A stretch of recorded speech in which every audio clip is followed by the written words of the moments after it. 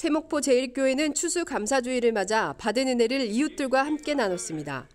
세목포 제1교회 박재주 목사는 추수감사주일이면 받은 은혜를 강단 앞에 놓아 기쁨을 누렸지만 그 기쁨을 이웃과도 나누자는데 성도들의 뜻이 모였다며 취지를 설명했습니다.